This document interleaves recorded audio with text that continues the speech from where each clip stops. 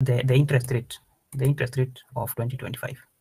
And you can even increase this one, maybe plus RT, RT minus 2 plus RT minus 3.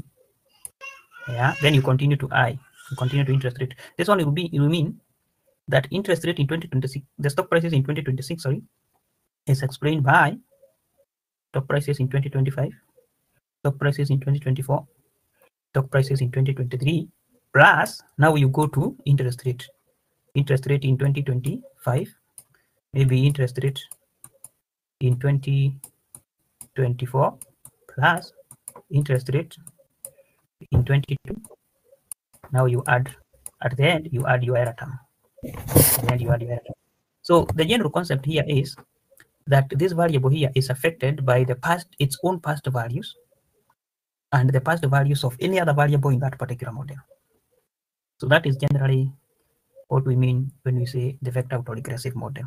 That's why they are called auto, autoregressive model. They autoregress themselves. So the same case, uh, the same case with the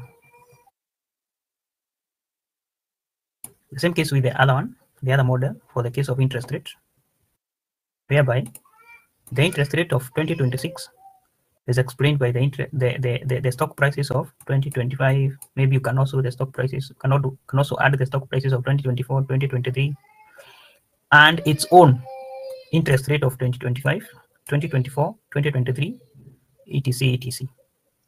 So that, that is the simply simply the concept, the concept of vector autoregressive model.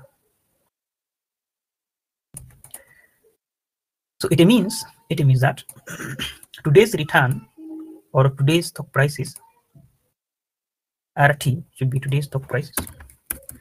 So today's stock prices depends on the past prices RT minus 1, RT minus 2, RT minus 3, etc. etc. and past prices of the interest interest rates. Uh, At the same thing, the today's interest rates IT depends on the past interest rate, IT minus 1, IT minus 2, etc. and the past prices of uh, the stock prices RT minus 1, RT minus 2, etc. etc. And then you can just look at this is an, a case example. This is a case example in case we have two variables, stock prices and interest rate. Let us look at the general, the general VAR model. And then we shall introduce some concept or some terms here, VAR into bracket P. VAR into bracket